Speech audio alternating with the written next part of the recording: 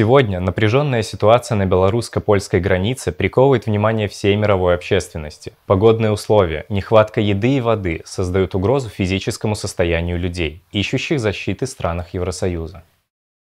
Жители Беларуси не остаются в стороне от происходящих на рубежах нашей Родины событий. Мы практически единодушны в том, что ситуацию необходимо разрешить гуманным способом. Те бесчеловечные условия, в которых оказались беженцы, вызывают искреннее сочувствие, а возмущение – поведение тех, кто сознательно обрекает на страдания женщин и детей, которые рассчитывали на помощь и убежище, лишившись всего на родине. Сегодня голоса пинчан присоединяются ко всем, кто не просто готов помочь людям, но и защитить свою страну от необходимости неоправданных и надуманных нападок и необоснованных обвинений.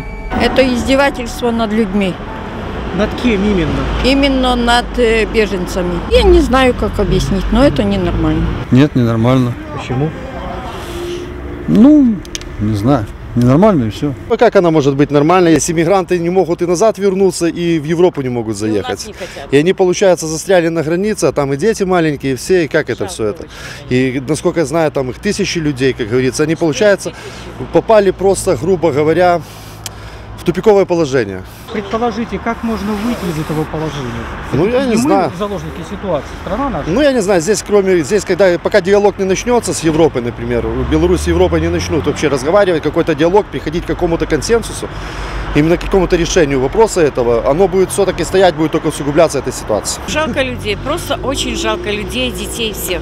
Они кинули свои родные места и приехали к нам сюда, но здесь не хотят оставаться, надо как-то их пропустить все равно, туда, куда они хотят. Жалко очень людей. Точный, конкретный, я не могу сказать, я там не политик никакой. Я просто в таком больше шоке. Я не понимаю, почему так.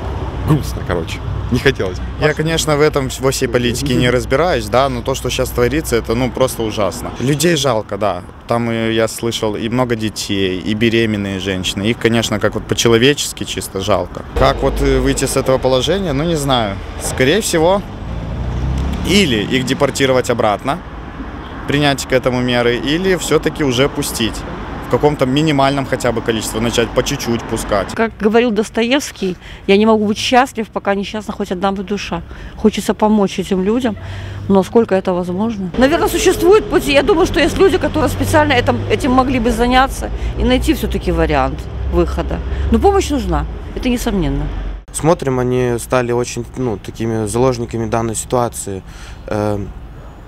Наша страна очень сильно оказывает гуманитарную помощь э, э, беженцам, э, но ее ну, незаконно обвиняют в данных э, каких-то э, издевательствах. Страны Европы могли бы оказать э, гуманитарную помощь через нашу страну как-то, э, чтобы помочь этим людям, а не обвинять нас в том, что мы что-то делаем не так. Новости смотрю каждый день, даже не, не один раз в день, если есть такая возможность. Ситуация, которая там сложилась, действительно очень страшная.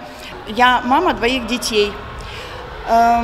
И не могу равнодушно смотреть на ту ситуацию, которая сложилась на польско-белорусской границе.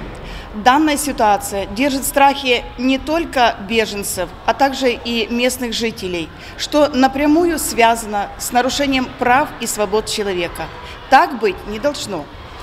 Э, мы за свободу, за дружбу, за мир, за равноправие, за народное единство. Наша белорусская общественность, все наши пенчаны взбудоражены и возмущены до предела теми деяниями, которые творят коллективный Запад. Наши участники войны, узники фашистских концлагерей, которых более 200 человек, вот, они с возмущением смотрят на те бездействия Запада, что они сами же натворили, и сами же сейчас никаких мер не принимают. И все это обвиняет наш белорусский народ, Россию, что мы виноваты. Польские солдаты смотрят на, как фашисты, на граждан других стран. Ведь их они сами созывали. Еще 16, 18, 20 годы канцлер ФРГ говорила, что приглашала к себе, что она примет, все достойно не будет жить. Вот они поэтому вот, и вышли, как говорится, искать теплое место и хорошая жизнь. Но мы все знаем, что какую демократию несут коллективный Запад. Бездушие, какое-то непонятное отношение. Вот. И пытается обвинить наш белорусский народ. Поэтому мы их в беде не оставим. Но это не решение вопроса. Решение вопроса это другое совсем. Они, Запад, должны значит, пропустить. Я думаю, что здравый смысл возобладает. На сегодняшний момент э, отношение коммунистов в Белоруссии к тем событиям, которые происходят на границе, очень негативные. Коллективный Запад ведет бесчеловечную войну против беженцев.